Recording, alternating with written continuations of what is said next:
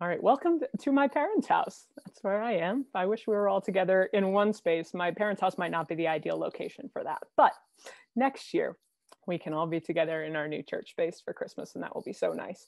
Um, I want to start by wishing everyone a very Merry Christmas Eve. And um, thank you so much for, for being here in this most unusual of Christmas services.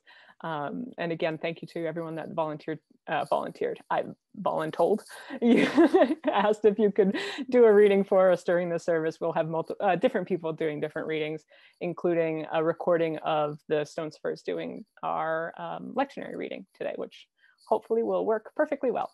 Um, and we're also going to say a little prayer that internet issues are not a thing during this service. So welcome folks, welcome to Christmas Eve worship here with Waterville UCC. So glad that you are here. We are an open and affirming church faithfully using what we have and who we are to serve those on the margins of our community, no matter who you are or where you are on life's journey this Christmas Eve, you are most welcome here. The people who walked in darkness have seen a great light. Those who dwelt in a land of deep darkness, on them the light has shined. Thou hast multiplied the nation, thou hast increased its joy. They rejoice before thee as with joy at the harvest, and men rejoice when they divide the spoil. For the yoke of his burden and the staff of his shoulder, the rod of his oppressor, thou hast broken on the day of Midian. For every boot of the tramping warrior in battle cometh, and every garment rolled in blood shall be burned as fuel for the fire.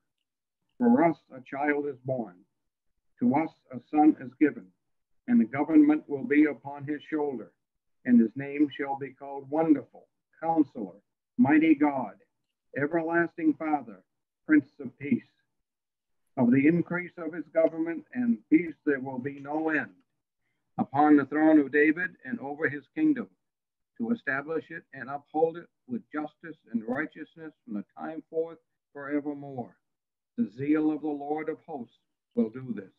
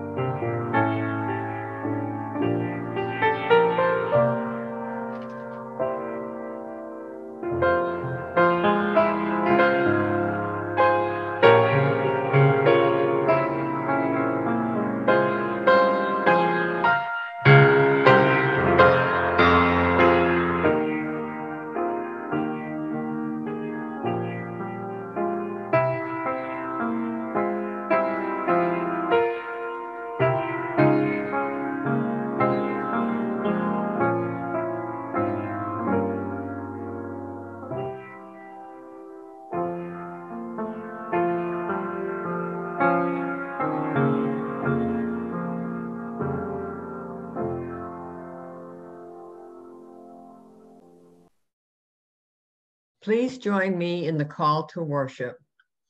On this night, Christ is born. Now the Savior has appeared. On this night, the heavenly chorus resounds. All creation rejoices. On this night, the church throughout the world joins their cry Glory to God in the highest. Alleluia.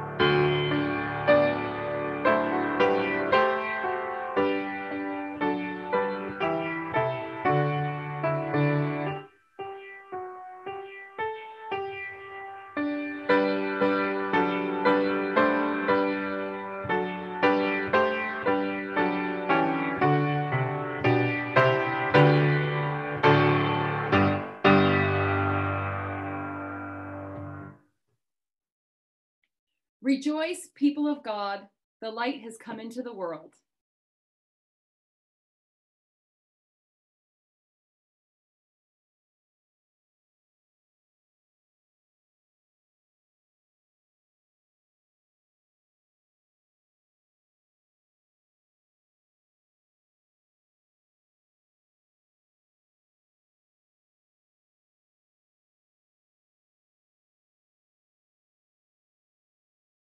O God, now we light the candle of your nativity.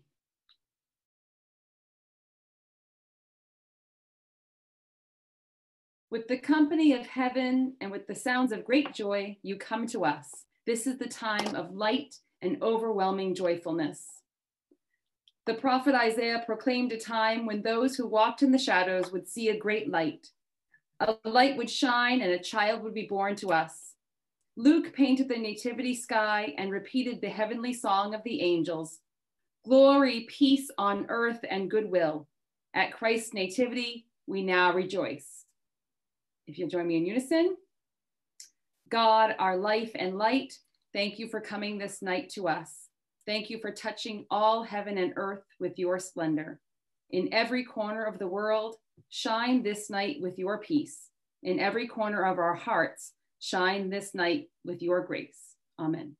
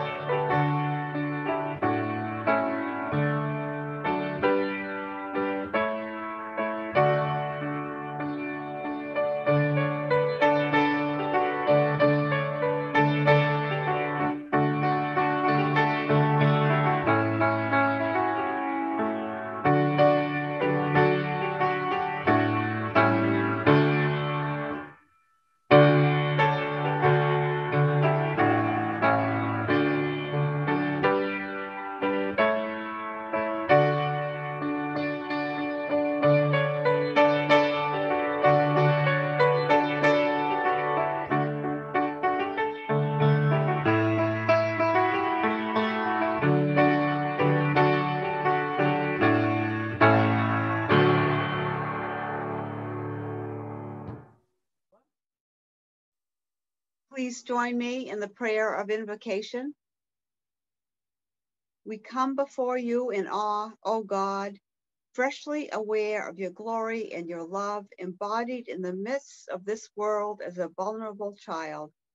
Here amid dirt and straw, amid noise of cattle and labor of birth, we perceive your work. We dare to believe that it is you, God, coming to be among us in Jesus.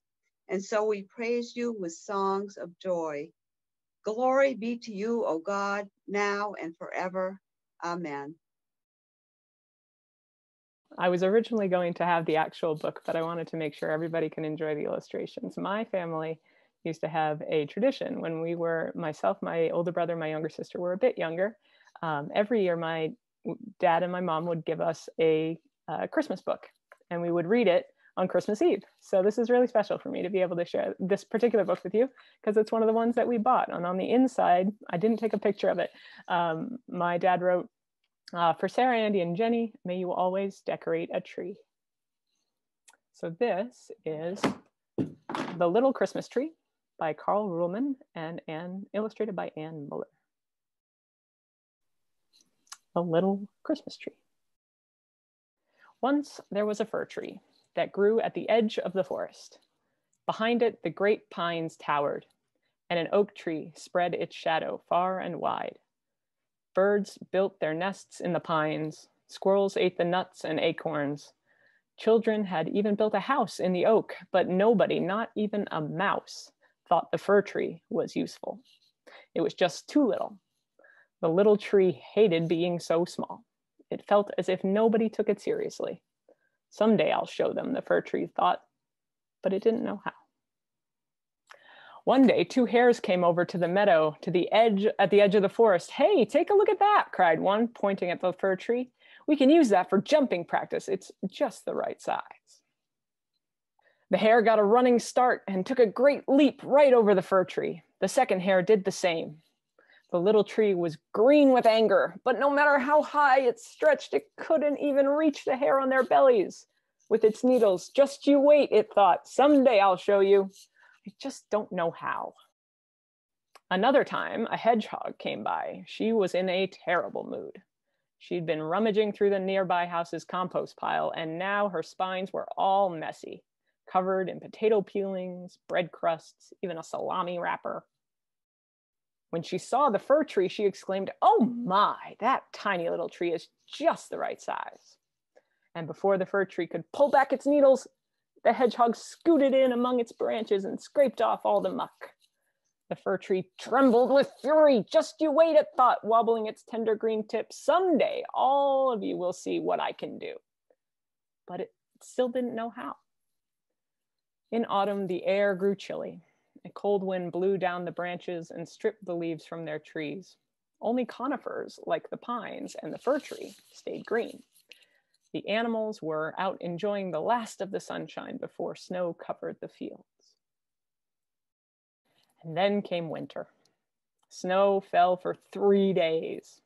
The little tree stood mournfully at the edge of the meadow. Every once in a while, it would shiver the snow from its branches so it didn't completely disappear in a drift. One bright morning, the little tree heard the crunch, crunch of footsteps. It was a boy named Peter and his father. They were looking for the perfect tree to cut down and take home for Christmas. Peter ran up to the fir tree. This one, he cried. This one here? It's so small, his father said. Not for me, it's just the right size, said Peter. His father laughed out loud. You're right, it is beautiful. And it is exactly your size, but it would be a shame to cut it down when it's still so young. He thought for a moment. I know. What if we brought the decorations out here to the forest? We wouldn't have to cut the tree and it could keep growing as you keep growing. Every year, it could be your own wild Christmas tree, the same size as you. Oh, yes, cried Peter. That very afternoon, Peter came back to the forest with his parents. They pulled a sled with a big box on it. From the box, they took wonderful red and deep blue glass balls and hung them on the fir tree's branches. The tree took great care not to drop a single ball. There wasn't enough room for all the balls, so Peter set the rest in a ring around the base of the tree. Finally, Peter fastened a gold star on top. The star was quite heavy, but the tree was so proud that it didn't bend a bit. Wonderful, said the father. Really, just the perfect size for you, said the mother. It's the most beautiful Christmas tree I've ever seen, Peter said. The next day, all the animals came to see the little Christmas tree. They were awed by its beauty. The fir tree knew it had finally shown them that it was indeed just the right size for something truly special. Every year at Christmas, Peter came back. Every year, Peter and the fir tree grew a little bigger. But no matter how tall the tree grew, even when it towered over Peter's head, it stayed just the right size and the fir tree remained the most beautiful Christmas tree for Peter his whole life long. The end. Folks, will you pray with me? Lord, on this Christmas Eve, help us to see small things, things that might be easy to ignore, just as Jesus came to us as a tiny baby help us to see that great things can come in small packages, in packages we don't expect. Help us to celebrate them, to decorate them with beautiful things and kind, loving words, today, tomorrow, and every day after that. Amen.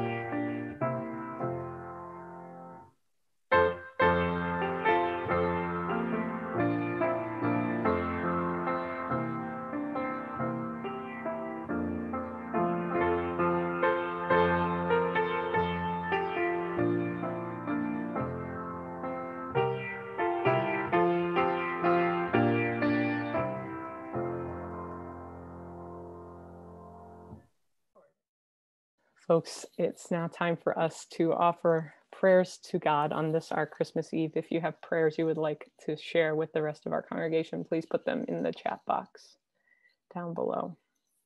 Folks, together, let us be in a spirit of prayer.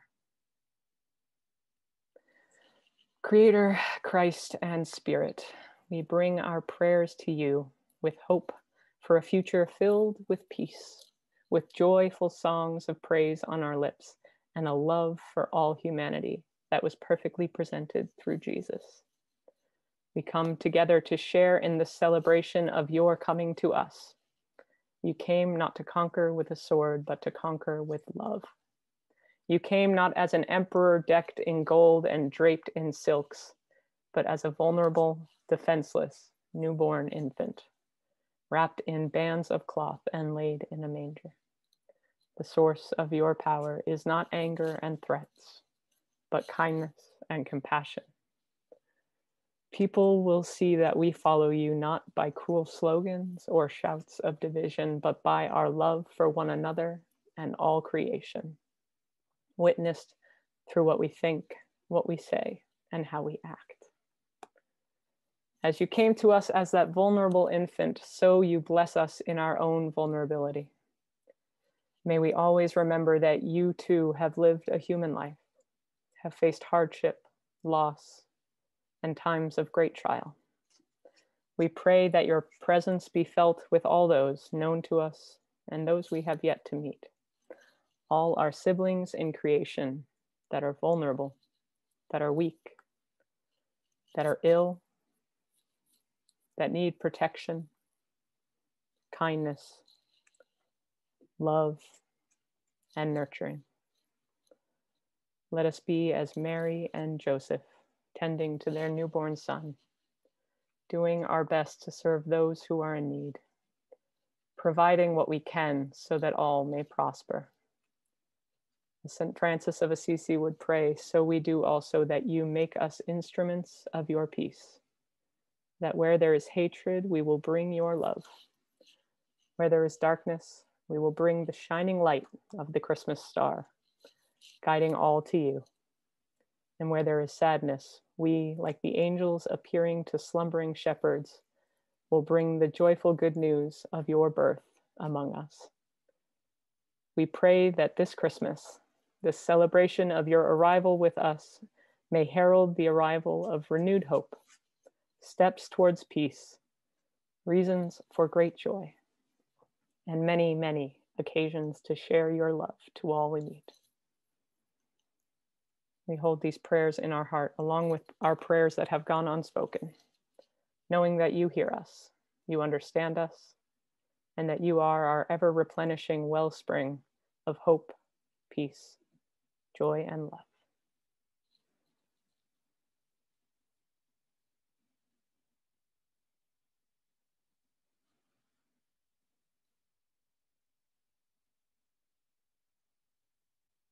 Lord, we thank you for your gifts to us, the sort of gifts that may not be beneath the Christmas tree, but that most certainly arrive at Christmas every year.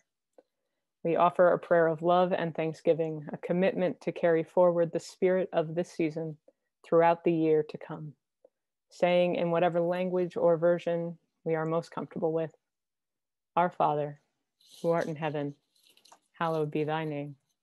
Thy kingdom come Thy will be done on earth as it is in heaven. Give us this day our daily bread, and forgive us our trespasses, as we forgive those who trespass against us. And lead us not into temptation, but deliver us from evil. For thine is the kingdom, and the power, and the glory forever. Amen.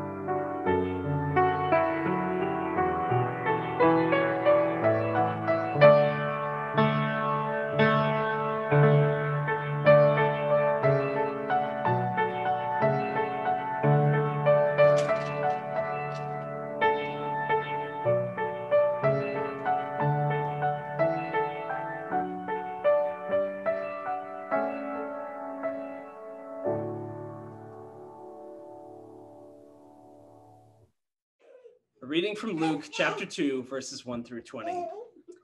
In those days, Caesar Augustus issued a decree that a census should be taken of the entire Roman world.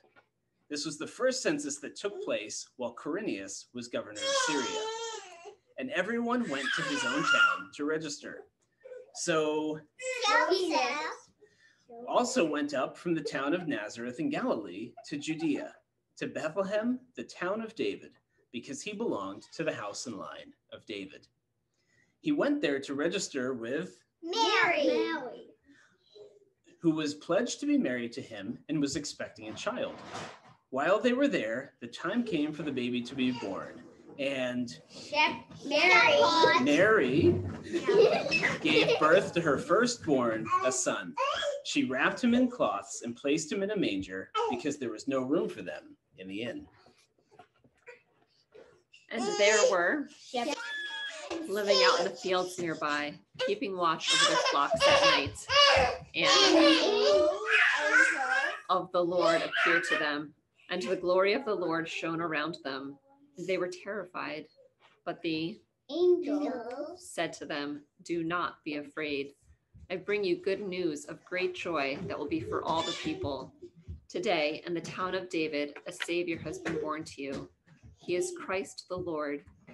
This will be a sign to you. You will find a baby wrapped in cloths and lying in a manger.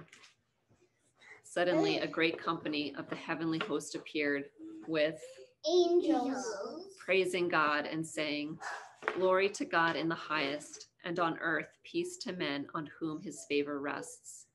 When angels had left them and gone into heaven, the shepherds said to one another, Let's go to Bethlehem and see this thing that has happened, which the Lord has told us about. So they hurried off and found Mary and Joseph and the baby who was lying in the manger. When they had seen him, they spread the word concerning what had been told them about this child. And all who heard it were amazed at what the shepherds said to them. But Mary treasured up all these things and pondered them in her heart. The shepherds returned, glorifying and praising God for all the things they had heard and seen, uh, which were just as they had been told. I can't see that. That's a wrap.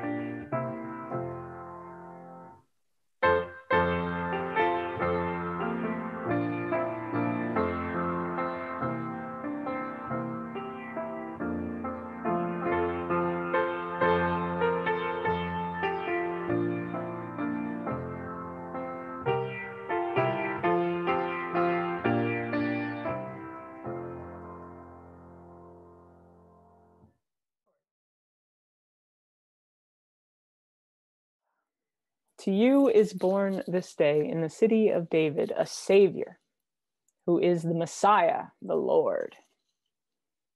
What hope, what peace, what joy, and what love must have spread over those sh- shepherds upon hearing this declaration from that angel. Now, they may have been quaking in their boots or sandals a little bit, uh, so much so that the angel did have to tell them, Do not be afraid once they had calmed down, how they must have been struck by what undeniably very good news it was to hear that a Savior had been born to them, one that is of the line of David, one that is a true king. Now, these shepherds, yes, they may have looked like the pictures from the nativity scenes that we all know so well and the Christmas specials men with head wrappings and beards, crook in hand. But they may also have included young children, boys and girls, who had been sent by their families to keep watch over the flocks at night. So now I want you to imagine that fear and wonder in the eyes and the heart of a small child. A child who quickly covers their eyes as the whole sky is filled with brilliance and shining light from a multitude of the heavenly host, and then swiftly switches to clapping their hands over their ears while they hear this crazy exaltation of the angels saying, Glory to God in the highest, and on earth peace among all whom he favors. The whole sky was filled. And then they vanish. The night sky is once again still and silent. Perhaps the older shepherds are rendered speechless, but that's rarely the case with children, as Zoe may have just shown us. What just happened? Did you see that? How many angels did you count? Did you understand what they said? My mom is going to freak out when I tell her about this. Why do you think they appeared to us? We're just a group of kids, simple shepherds. Why us? Does that sound familiar? It's the same question we thought Mary may have asked when she was visited by the angel Gabriel and told of God's wondrous plan for the world. Why me? Why us? What's so special about us? Part of the beauty of Christmas is how it shows that our God turns things on their head. You think the mother of the Messiah should be a woman of means, a queen in a castle with hundreds to attend her. God will pick this teenage girl of no particular background. You think I should tell the emperors and the priests of the world about the coming of this new Messiah. Well, I'm going to tell these shepherds instead. Luke leaves out Matthew's magi. It's just the shepherds, simple people, many young children, maybe people the same age as Mary. They are Jesus's first visitors, people just like you and I. You think this new Messiah should come descend to earth on a cloud of fire, sword in hand, ready to cut down God's foes. Well, here are the words of God's angelic messenger. This will be a sign for you. You will find a baby wrapped in bands of cloth and laying in a manger. A baby. A small, defenseless, vulnerable, probably crying, very human, maybe screaming baby. That is how God joins us on earth. That is the sign for us. We worship a God of total omnipotence and power and total vulnerability and humanity. Our God turns our expectations and the expectations of the world on their head in this Christmas story. Tonight, friends, I pray that you continue to find the ways that God has turned things upside down. Times when at first you saw closed doors, but then one opened. Times when you thought you were totally alone and someone appeared and stood by you. Times when you felt unworthy and someone affirmed you. When you found no room at the inn, but people you had never met came and joined you in the stable. These are the moments that connect us to the Christmas story. These are the moments that we feel the presence of God in our midst. May you hold them in your heart, rejoice in them, and tell others your wonderful stories and your very, very good news. Amen.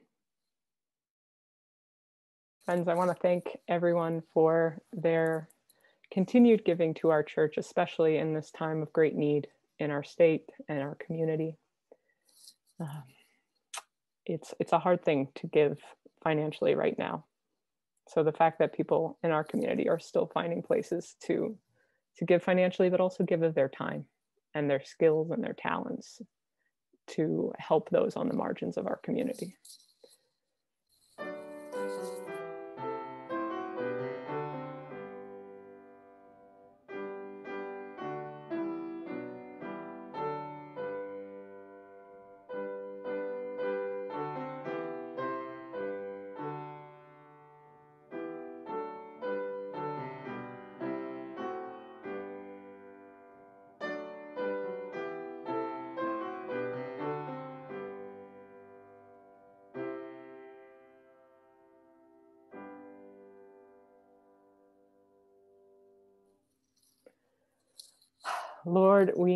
The gifts of Christmas that really matter are those that make a real difference in people's lives, in lives of people we may never meet, but who will feel the warmth of your spirit through the generous gifts offered this day. May they go towards building a world where there is room at the inn for everyone. We pray these things in your holy name. Amen.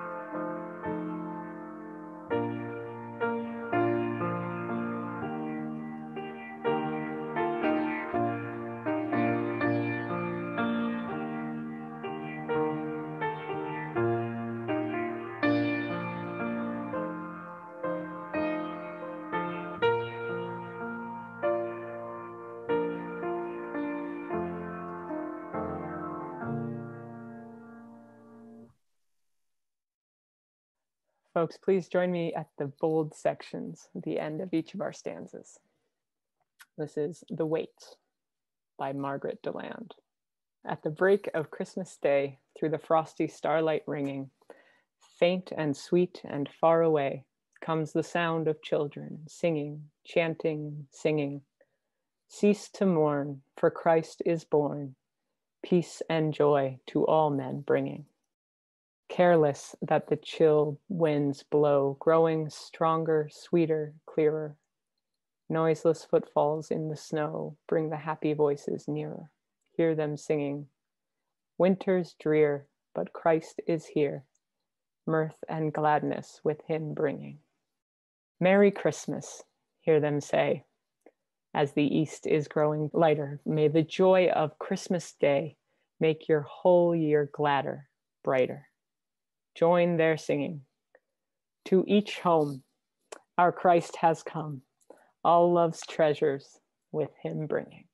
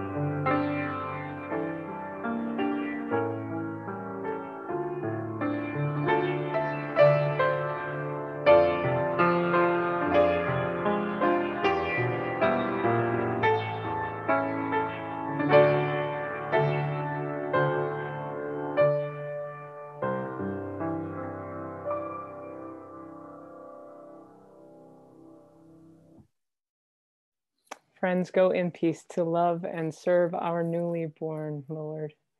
May the joy, hope, peace, and love of God be with you all. Amen.